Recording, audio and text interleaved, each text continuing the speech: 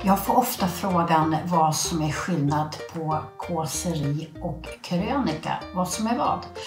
Det har jag tänkt att försöka reda ut i den här videon, så häng med!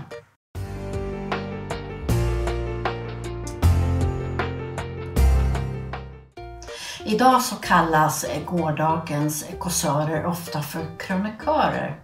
Ja, i varje fall de som har en egen kolumn med Baylan i de vanligaste tidningarna och tidskrifterna. De krönikörerna de är oftast främst ute efter att underhålla sina läsare, lyssnare eller tittare. För krönikörer finns ju inte bara i tidningar utan också i radio och eh, TV.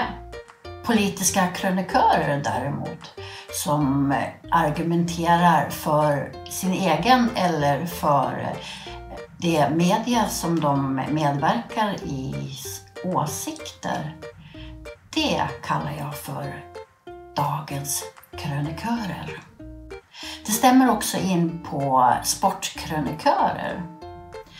Den främsta skillnaden på en krönika och ett kåseri är med andra ord att en krönika, där argumenterar den som skriver eller talar för en fråga. Men i ett kåseri, där så kåserar krönikören främst för att underhålla. Vad krävs det då mer för att det ska vara ett kåseri och inte en krönika? Jo, i ett kåseri så bör det finnas ett par vändningar och ett oväntat slut.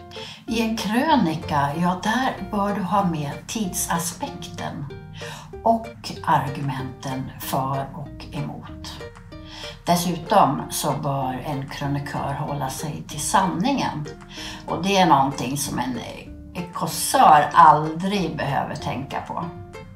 Däremot så kan och bör ett kåseri vara skarpt, vasst och jag tycker också att det ska innehålla ett visst mått av salt. Det hade till exempel signaturen Bang, Barbro Alving, som jag tycker är en riktigt klassisk kåsör. Om du vill hitta en blandning eh, av kåsörer och krönikören, då kan du lyssna på Godmorgon världen i radion. Andra populära kåsörer, ja det är till exempel Cecilia Hagen och Torsten Ehrenmark. Och vill du ha exempel på en riktigt skarp krönikör, då föreslår jag att du ska kolla in Lena Melin på Aftonbladet. Dagstidningarna brukar också ha krönikörer som tar upp dagsaktuella ämnen. Jonas Esk på DN, det är vad jag kallar en duktig sportkrönikör. Jag kallar mig också krönikör för jag skriver något på skrivarsidan .nu som jag tycker är någon form av krönika. Jag vet inte riktigt om du håller med mig om det efter den här beskrivningen som jag har haft på krönikor så gå gärna in där och kolla och eh, skriv en kommentar till den här videon om eh, du tycker det stämmer eller inte. Vad jag skriver om där i krönikorna, ja det är ju skrivandets hantverk i alla dess former och, och utgivning och lite allt möjligt som rör skrivandet och läsandet. Nu så hoppas jag att du vet skillnaden på ett kåseri och en krönika. Har du frågor om eh, den här videon eller någonting som jag tar upp i den, skriv gärna en kommentar. Ja, det var allt för den här gången. Vi ses i nästa video. Hej då!